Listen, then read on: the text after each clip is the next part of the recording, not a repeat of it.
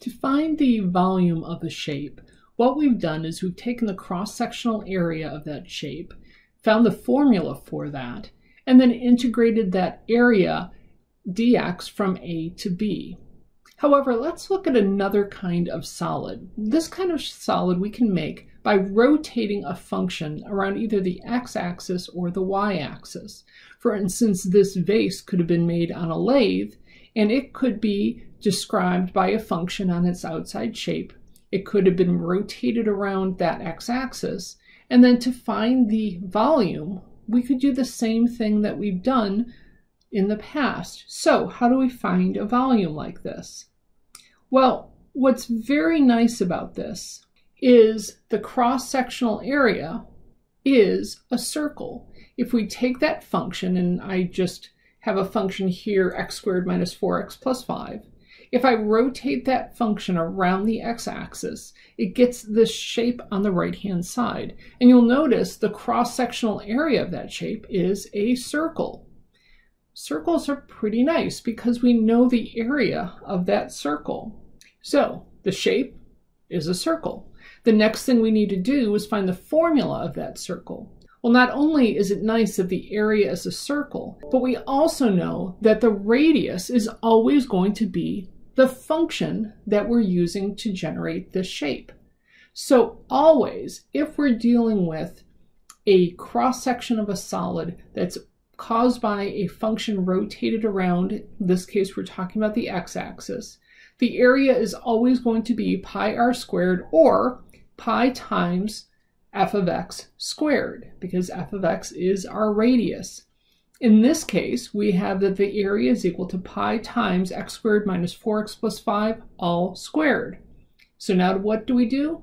Just like we've done before, step three, we integrate. I wrote this out mainly because students are really good at FOILing, right? T multiplying a binomial times a binomial. A trinomial times a trinomial, sometimes students don't remember how to do that, but it really is nothing more than FOIL. You take that first term, the x squared, and you multiply it times each of the terms of the second factor. So it's x squared times x squared, x squared times negative 4x, x squared times positive 5. Then you go to the second term, negative 4 x, negative 4x times x squared, negative 4x times negative 4x, and so on. And it's kind of a crazy thing with all the arrows, but you'll do the same thing with the 5. The 5 will multiply each one of those terms. So you end up with a total of 9 terms. Then we simply combine like terms, and then from here it's pretty straightforward. And the volume of this shape is 78 over 5 pi, and that will be units cubed, since this is a volume. We generalize this to calling this the disk method. If I have a function rotated around the x-axis or the y-axis, then that area function, that a of x, is always going to be pi times the function squared, because it's always going to be a circle, and the radius is always going to be the function. So if I have something rotated around the x-axis, it will be from a to b, the integral of pi times fx squared dx. If I'm rotating around the y-axis, then I go from c to d. Again, there's no reason why we call it c and d instead of a and b, except to keep it straight when we're looking at these formulas. c to d, pi of gy squared dy.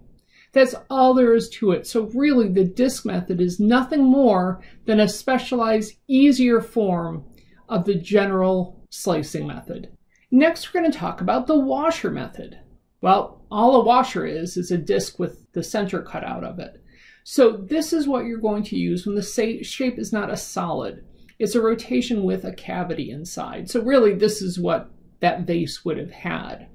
So if you have a function f of x and a function g of x, we've got this little rectangle here. And when we rotate this around the x-axis, we'll get a washer. Just like before we got a disk, now we have a washer. It's just a disk with a hole in it.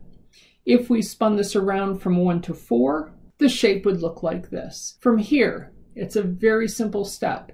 The volume of this shape is simply going to be the integral from a to b of pi times the difference between the two radii squared. That is, f of x squared minus g of x squared, all in terms of dx. Compared to the general slicing method, the washer and the disk method are very straightforward because they're always circles. They'll always use this function. And the toughest thing you'll have to decide is if it's over x or rotated around y.